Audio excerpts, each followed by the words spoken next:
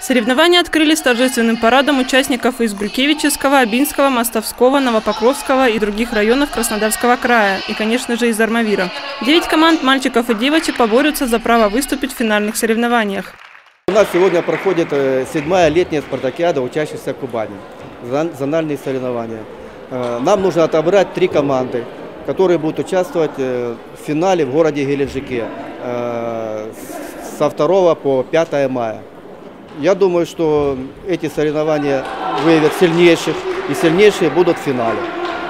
14-летний армавирец Павел Техненко, подопечный Владимира Блохина, многократный победитель городских соревнований. Он занимается настольным теннисом более половины жизни и знает, как правильно нападать и реагировать на маневры противника.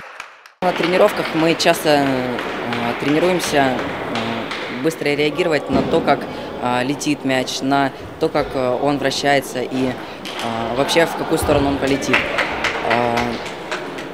Я занимаюсь уже теннисом более 8 лет, и поэтому я уже э, разбираюсь, э, куда мяч полетит и как он полетит. И мне уже достаточно легко играть. Хозяева турнира подают большие надежды на победу. Между состязаниями участники и их тренеры бурно обсуждали спорные моменты, отстаивая каждый мяч. Напряженная борьба продлится три дня. Уже в субботу 7 марта определятся финалисты зональных соревнований, которые выступят на краевом уровне. Инна Лепеткина, Сергей Шуль, служба информации телеканала РЕН-ТВ, Армавир.